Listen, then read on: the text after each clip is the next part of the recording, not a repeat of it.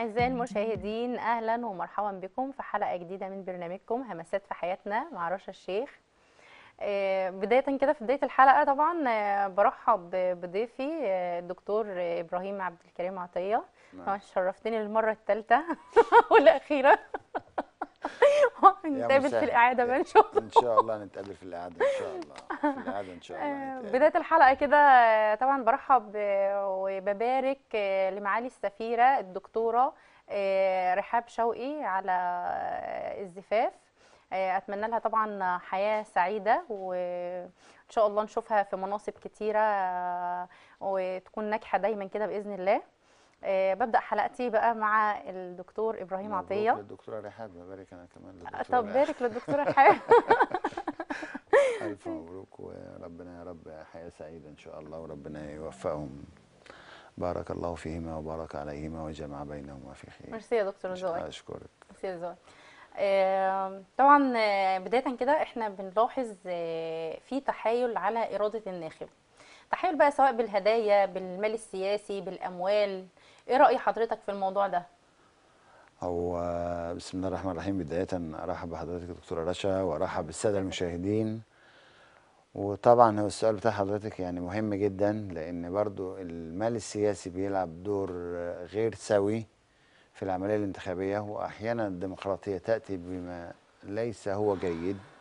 ولكن الصندوق بيبقى معيار وبتبقى إرادة الناخب تم التحايل عليها من خلال المال السياسي إذا كانت هدايا عينية أو هدايا مادية أو أي شيء من الأشياء أو أموال أو ما إلى ذلك.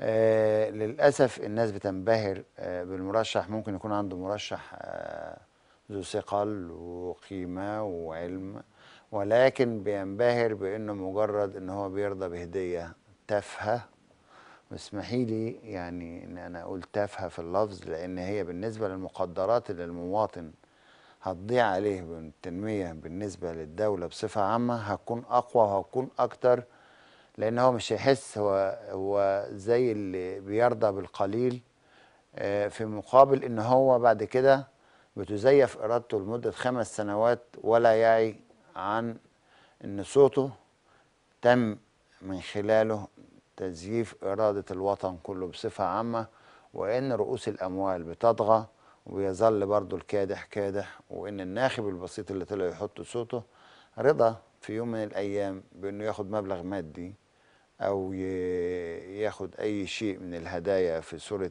آه، مواد بناء أو آه، أو آه، جهاز عروسة أو ما إلى ذلك من ثلاجة غسالة بوتاجاز الحاجات دي. فعلا الناس نظرا لضعف الحالة الاقتصادية بالنسبة للناس بترضى لكن المفروض إن هو ما يقبلش حاجة زي كده وإن هو يكون بيعيش حياته بطبيعتها وإن هو ذو ثقل وذو قيمة من غير ما يزيف هو نفسه قدام الناس بحاجات هو ما يعني إلى حد ما ما بيقدرش على ثمنها وبيسقط كاهله سواء بانه بيروح لناخب يتوسل إليه إنه يديله يعطيه حاجة من الحاجات اللي هي الهدايا العينية آه، أو يسد عنه دين أو ما إلى ذلك. وبرضه ديت آه، يعني عذرا آه، أسلوب رخيص آه، لنيل إرادة الناخب. طيب بالنسبة للوعي السياسي بقى آه، لدى الناخب. يعني هل يعني من وجهة نظر حضرتك يعني شايف في عدم اكتمال بالنسبة للوعي السياسي لدى الناخب نحو الاختيار الصحيح لنائب الشعب؟ سواء بقى الوعي السياسي أو ثقافته أو علمه أو مدى درايته بالتشريع ودور النائب نفسه سواء كان دور الحالي أو دور اللي جاي. هو حضرتك بتلمسي يعني في السؤال ده أهم حاجة بالنسبة للنائب. هو كنت أتمنى وقلت الكلام ده برضه في أكتر من حلقة إن لابد إن نكون مؤهل عالي أسوة بالشيوخ. مش تجبر لا لكن لابد إن هو ال- العضو أو ال- المرشح ليكون نائبا عن الشعب في مجلس الشعب أن يكون لديه الثقافة والعلم والدراية بكل ما يدور حول الدستور ومواده القانونية اولا وأظن دي الثقافة القانونية مطلوبة جدا. عفوا لأن دوره التشريعي مهم جدا. علمه مهم جدا. درايته في الحياة ومدى دراسته لفئات المجتمع ومشاكلها في كل مجتمع وإيه صفات كل فئة وإيه مطالب كل فئة من الفئات اللي الوظيفية بالنسبة للشعب. المفروض إن هو يكون على دراية بالصنايعيه بالعمال بالفلاحين آه، بدكاترة الجامعة بالتخصصات المختلفة في المجالات من طب وزراعة وهندسة وصيدلة وما إلى ذلك. لابد إن هو بيكون دارس إلى حد ما المشاكل اللي بتعوق كل شيء سواء في الزراعة في الصناعة أو في الإنتاج. عشان ديت المفروض إن أنا بدرسها من خلالها. هحط قوانين تتبنى خطط التنمية بالنسبة للشعب اللي هي هتعوض الشعب ده وتخلي الدولة يعني تكون في مسار حضاري أقوى وفي معدل تنموي بالنسبة للنمو الاقتصادي أعلى من أي دولة أخرى. لذلك المعيار لابد إن هو يكون فيه شروط للناخب كده. يعني على الأقل علمه درايته بالقانون آه، مدى آه، مدى مساهمته في حل أي مشكلة أو تبني قوانين جاده لخدمة المواطن. آه، الرقابة ده بالنسبة لناحيه التشريع الرقابة بالنسبة لمؤسسات الدولة في مختلف الوزارات إحنا عندنا وزارات الدولة على مختلف آه، انواعها. المفروض ان هو سواء في في وزارة الصحة في وزارة المالية في دي على سبيل على سبيل المثال. آه، فالمفروض ان هو في جميع الوزارات أو الزراعة أو الصناعة أو الاستثمار أو ما إلى ذلك لأن دي بتتبنى من خلالها الحكومة. الخطط التنموية للدولة فلا بد ان يكون جنبا إلى جنب الوعي الثقافي والمعرفي لدى الناخب والمفروض أنا عن رأيي يكون في شروط للنائب زي التقدم لأي وظيفة تتم قبل التقدم لإيه؟ لنيل آه، قبل التقدم للترشح لإيه؟ للبرلمان. ده شيء أساسي وبلاش اللغط اللي إحنا فيه من حق أي حد يتقدم لكن عايزين ننمو ونقول انها دولة علم وبتتقدم وبتبني بولادها وبسواعد ولادها في مختلف المجالات آه، نهضة وبناء الوطن آه، بكل مقدراته بكل مقوماته وبكل ما يملك طيب مشاهدينا الأعزاء نطلع فاصل وانتظروني هنرجع تاني.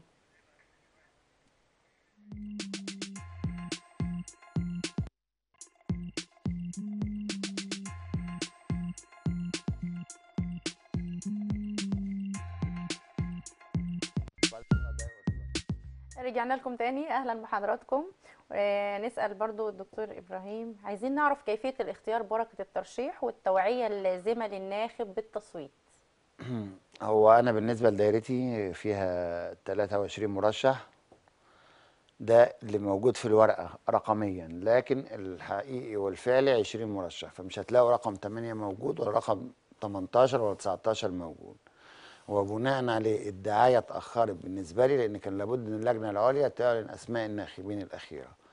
فبوعي الناخبين الاختيار في الفردي أنا يهمني الفردي ويدور على الفردي.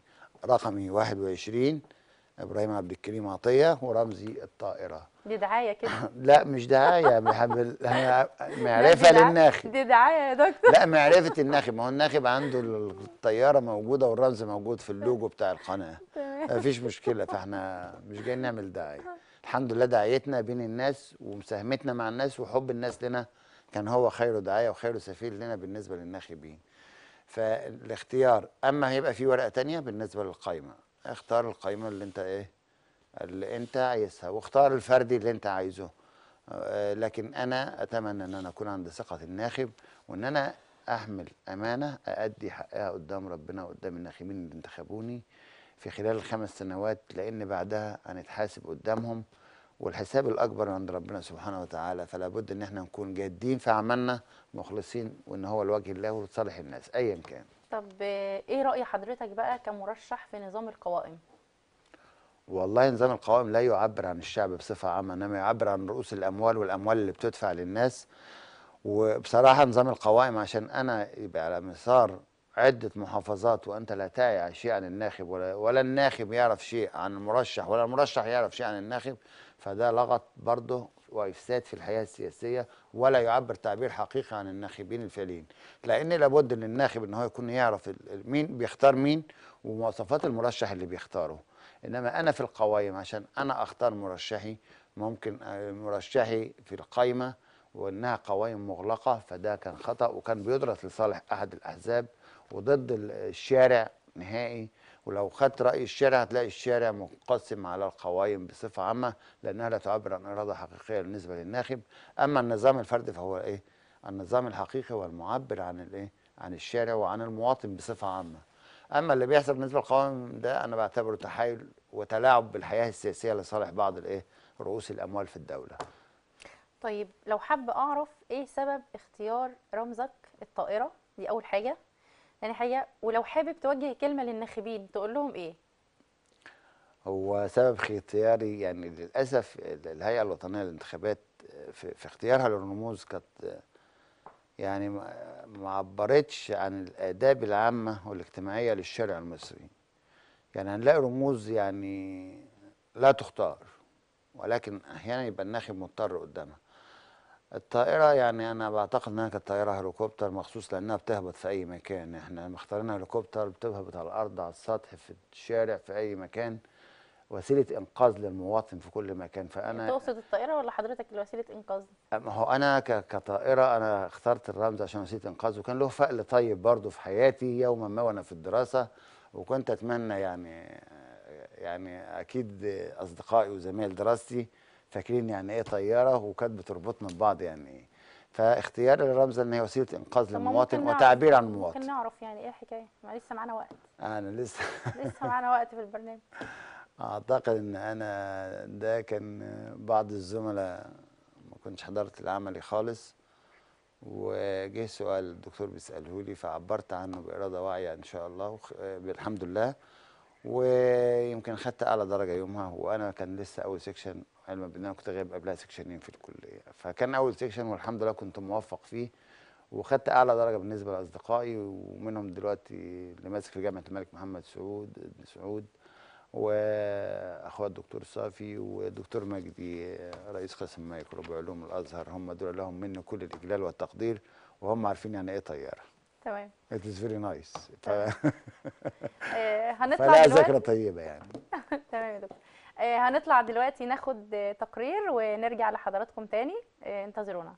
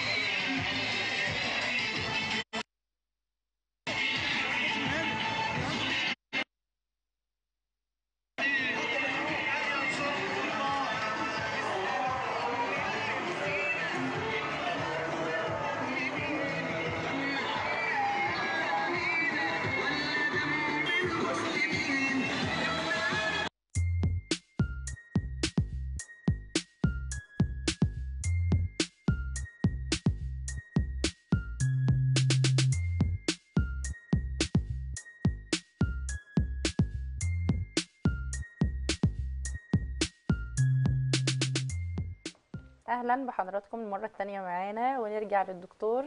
ما ردتش على بقية السؤال حضرتك. آه قلنا لو هتوجه كلمة للناخبين هتقول لهم إيه؟ آه،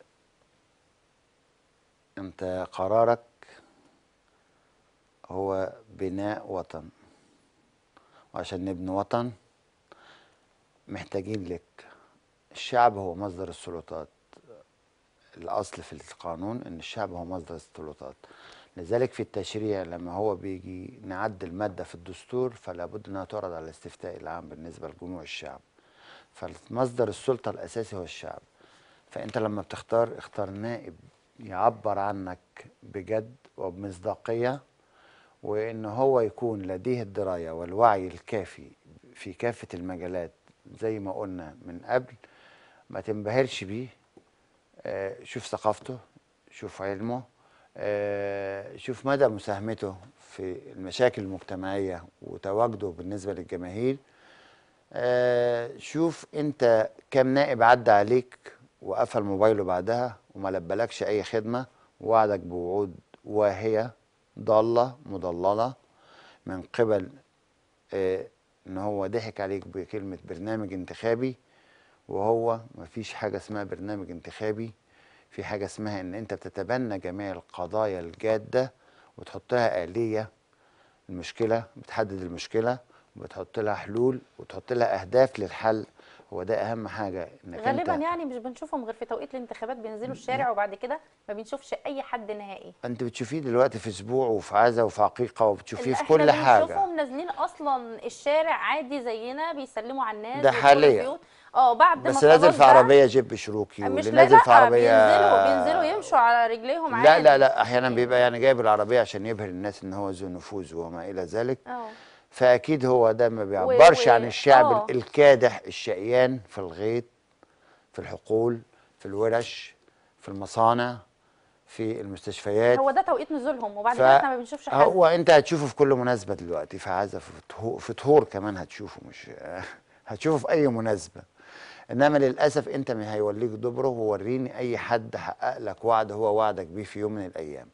اختار ما تبيعش بلدك بالرخيص لأن أنت النهارده بتعبر عن إرادة المواطن المصري فلا بد تعبر عن مجلس يكون نوابه فعلا بيعبروا عن إرادة الشعب وبناء وتنمية الدولة مش يبني مش يملوا جيوبهم هم من خلال رؤوس الأموال والتربح والاستفادة من خلال المواطن ويطلع المواطن الفقير الكادح هو اللي يدفع كل شيء في الدولة والرجالة الكلام ده محسوب. هنرجع والرجالة- نعمل تقرير من قلب الشارع المصري بعد الانتخابات ونشوف حضرتك عملت تقرير إيه أنا مستعد للحساب. في أي وقت. أنا قلت للناخب أنا أنا من قبل ما أكون ناخب وأنا موجود في الشارع مع الناس.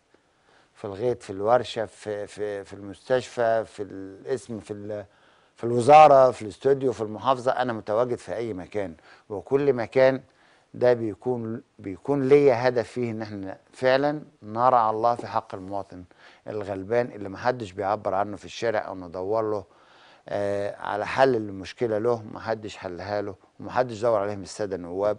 لأن السادة النواب الفسدة بينقوا أعضاء فسدة في جميع المجالس التنفيذية وهم اللي بيختاروهم وبيضغطوا على الوزارات إن هي تجيب التنفيذي الفاسد اللي هو يفسد أكتر بدل من إن هو يحارب الفاسد والفساد. وأنت في الآخر الضحية إن كنت خدت النهارده أي مبالغ مادية هتدفعها أضعاف مضاعفة من خلال تبني سياسات تنموية فاشلة أو غير جادة أو لا تعبر عن المواطن وحالته الاقتصادية ومدى الرضا الاقتصادي بالنسبة لجموع الشعب. هنا أنت اللي تدفع الثمن أنت اللي هت... أنت اللي هتعاني أنت وأولادك وأحفادك وأجيال جاية لأن أما بيحط سياسات تشريعية وقوانين آه ما بيجيش حد يعمل تنقية وفلترة للقوانين دي إنها تتوائم مع الوقت الحالي أو ما تتوائمش تعبر عن الشارع وما تعبرش. تعبر عن الحالة الاقتصادية للمواطن ولا ما تعبرش. كل دي أشياء إلى حد ما أنت اللي هتبقى معني بها. إنما الناخب خلاص هو خد الكارنيه وعمل اللي هو عايزه وولى دبره ويبقى قابلني لو شفته تاني. وأنت كمواطن حسيت دي من أكتر من نائب. إنما يوم ما تختار نائب صح هتلاقيه موجود معاك في أي مشكلة بيسعى لحلها بيضع حلول آه وبيدرس جوانب المشكلة وبيقضي عليها. بمناسبة المشاكل. حلول. آه. المرة اللي فاتت حطينا إيدينا أو عملنا بوينتس رئيسية للملفات الناقصة في المركز اللي حضرتك مترشح فيه. آه. هل عملت خطة مستقبلية؟ خطة مستقبلية. أنا عامل خطة مستقبلية بآلياتي. كوني اكون نائب بآلياتي أنا وأنا إبراهيم عبد الكريم. وأنا إبراهيم عبد الكريم عطية بقدراتي في أي مجال إلى حد ما هسعى لها. لكن لما أكون نائب لأن أنا حققت على أرض الواقع خدمات في كل المجالات الحمد لله وزي ما قلت لحضرتك في التعليم آه، جلب ثانوي وتجاري وثانوي عام آه، وبرضو النهضة دخول الجودة بالنسبة للمعهد الأزهري دخول معيار الجودة بالنسبة للتعليم الأزهري آه، معيار الجودة بالنسبة لمدارس البلد آه، إلى حد ما إنشاء فصول آه، إنشاء مدارس إلى حد ما أجري وإن أنا اذلل فيها محطة القطار آه، صرف صحي آه، في صحة في تموين في شؤون اجتماعية وإنشاء وحدة اجتماعية في كافة المجالات في تلبية احتياجاتهم من آه، أنابيب غاز أو أسمدة بالنسبة للزراعة في الزراعة بالنسبة للفلاحين. فأنت بتتبنى ال- المشكلة بتطرق قدامك لكن أنا ونتحرك من خلالها. أنا مش عايز المشكلة تحصل وأتحرك من خلالها. أنا عايز أحط آلية إن أنا أبقى سابق المشكلة بشوية بدل ما بستنى المشكلة تحصل وأدور على حلول وآليات لها. أنا عايز أكون خطوتي أكتر في تنمية مصر بصفة عامة وبناء الوطن بصفة عامة إن أنا أكون سابق المشكلة. يعني من ضمن الحاجات اللي أنا يعني تحزنني جدا إن التخطيط تم الإنجليز كانوا محتليننا في حوالي 82 أو 81 التخطيط يتوائم مع العصر مع العربية من أيام جمل وحمار وسيلة نقل بيتوائم النهارده الأنفاق اللي معمولة. وفجأ بإن على القرى على على الطرق على الطرق ال- الحديثة إن معمول نفق يعدي منه يا دوب عربية ملاكي. وهو بالنسبة للفلاحين بيعدي بجرار وبأديات وما إلى ذلك. ويمكن أنا تدخلت في أكتر من كده ليه ما أحطش إن أنا الطريق بحطه وأحط خدماته وأحط حاجته وأحط المرافق اللي تنزلني بالنسبة لأي قرية مستقبليا؟ في المستقبل. ليه تخطيطنا باصين تحت رجلينا ما بنخططش؟ اللي جايب مصر ورا تخطيطها السيء إن أنا بهد ببني وأرجع أهد عشان أصلح اللي بنيته لأن أنا ما بنيتوش من الأول في القوام الصحيح. ففي سياسات أنا بصراحة يعني برضو في أكتر من مجال الطرق. في تبطين الترع المفروض كان تغطيتها بدل تبطينها واوفر إن أنا الماء اللي هو هيستنفذ وهتوسع طريق وهتخلق مجال. في حاجات كتيره قوي يعني أنا بصراحة بتحزني وأنا ماشي على الطريق إن هي ما تبناش فيها التخطيط الجيد ومعيار التخطيط خلاص الجيد. خلاص مفيش حاجة. عشان كده يمكن أنا بتكلم إن لابد إن إحنا نكون سابقين المشكلة متوقعين حدوثها وحاطين الآليات لحلها وده شيء كان المفروض اللي يتبناه مجلس الشعب مش حاجة تانية. فأتمنى إن أنا أحظى بقبول آه، عند الناس وأتمنى أن أكون آه، أشيل امانه أكون قدها ورقمي 21 ورمز الطيارة. والطيارة لابد إنها إن شاء الله تطير زي ما كان بيقول لي أصدقائي وحبايبي الدكتور صافي مجدي الطيارة طارت وخدت الدرجة النهائية وناخد الدرجة النهائية إن شاء الله. إن شاء الله. أسعدني طبعا الله. وجود حضرتك معايا. وإن شاء الله بقى إن شاء الله هيكون في لقاء تاني. يا الله إما تقرير من قلب آه، طنطا مركز قطور. أشوف حضرتك أنا عملت تحت إيه؟ أمركم سواء أنا نائب أو مش نائب أنا تحت أمر الناس وتحت تحت أمركم في أي تقرير أنتوا عايزينه وإحنا موجودين في حضرتك الشارع. عملت إيه؟ يعني أنت عمال تتكلم وبتقول الناس اللي بتنزل هنشوف هنراقب بقى حضرتك بعد أنا ذكرت حضرتك عملت إيه. أمثلة أمثلة لخدماتي مش على سبيل ال- الحصر. لا ده ما حصرناش ده حاجة أمثلة إحنا نتمنى. يعني إحنا عايزين ربنا يولي الصالح. يعني إحنا نتمنى إن كل واحد في مكانه يعمل اللي عليه. والله همتك الإعلام. والله- الإعلام عليه دور كبير لأن الإعلام بيتبنى سياسات برضه أحيانا بيلمع ناس ما تتلمعش. وبتبقى ضد الوطن بنشكر حضرتك وسعدنا بتواجد حضرتك. اعزائي المشاهدين هنا بنوصل لنهاية الحلقة. وأتمنى طبعا إن هي تكون نالت إعجاب حضراتكم. واستنوني الاحد القادم على قناة الصحة مبروك والجمال مبروك همسات في حياتنا مع دكتور رشا الشيخ ومبروك تاني لمعالي السفيرة رحاب شوقي وأتمنى لها حياة زوجية سعيدة.